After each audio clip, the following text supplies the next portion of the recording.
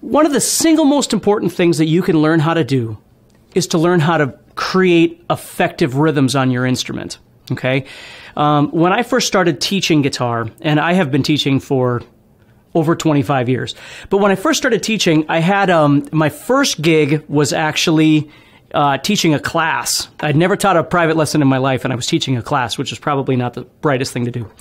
So I had to come up with my own course, right? So I had to create my own book and put a bunch of stuff in there and was all excited. The first thing I did was I started putting in some basic chords, um, and then I put in some basic strums. You know, I would teach people how to do like, uh, you know, like a down, down, down, up, down, or something like that. Um, and it went really well. The, the classes were very successful, and it was all great. It wasn't until a while after that I started realizing that I had created a bunch of unfortunate robots or zombies by the things that I was teaching them. Um, and I found this out because some of the students would go on to further classes and then ultimately wind up in private lessons and that sort of thing. And I began noticing, and again, this was early on in my career, I began noticing that the strums that I had shown them how to play, they played those same strums for everything. Everything, every song, everything. Um, and that's when I started realizing that although strumming patterns, learning how to play strumming patterns is something that we need to learn how to do and it is important, there's a far more important element happening. Um, and that is learning how to add realism and you know what I call organic playing in, into your strumming when you play guitar. So what we're going to do right now is we're not even going to worry about the left hand. What we're going to do is we're going to focus on the right hand. And what I'm going to show you right now, if you really think about this and you implement it into your playing, your life will never be the same again. Your guitar playing will never be the same. And it doesn't matter if it's acoustic. It doesn't matter if it's electric. It doesn't matter what, what style of music you're playing. It's learning how to play the guitar like a singer would sing, a good singer would sing, right? We have got to learn how to play with dynamics. We have got to learn how to play with spatial differences. And I summarize all of those elements into a technique I call the, the ocean effect. And so what I want you to think about is this. If you were off staring in, at the ocean, what you're going to notice is that it's, it's first of all, it's very captivating. It's very mesmerizing. Um, but secondly, if you look deeper at it, you're going to start noticing that it's, it's irregular. Everything about it isn't the same all the time.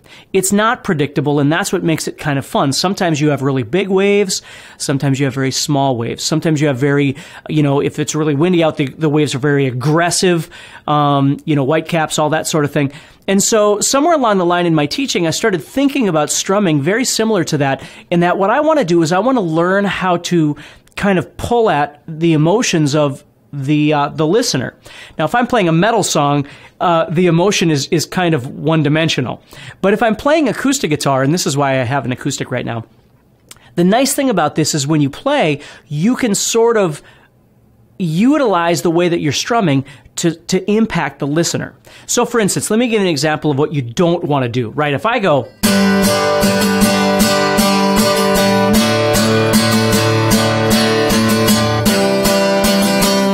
After a while, somebody's going to want to throw something at my head and just tell me to stop playing, right? The, the trick is to try and add some emotion in there. Now, again, emotion, I'm not saying that you have to cry when you play guitar, um, although maybe that works for you, I don't know. But, but the, the trick is, is using those dynamic changes like the ocean. So, for instance, if I took my strum and instead of going, let's start off by changing the space. So I'm not just doing a pattern. I'm not going down, down, down, up, down the entire time. I'm going to start changing that.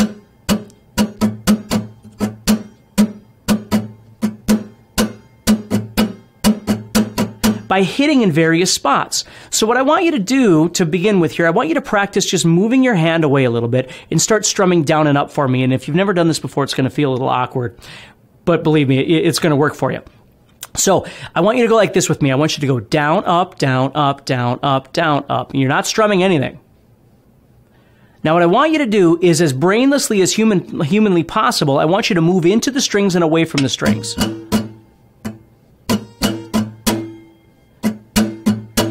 Don't think about a pattern, just move in and out. like the wave of an ocean, right? It's getting bigger, getting smaller. We're moving in, we're moving out.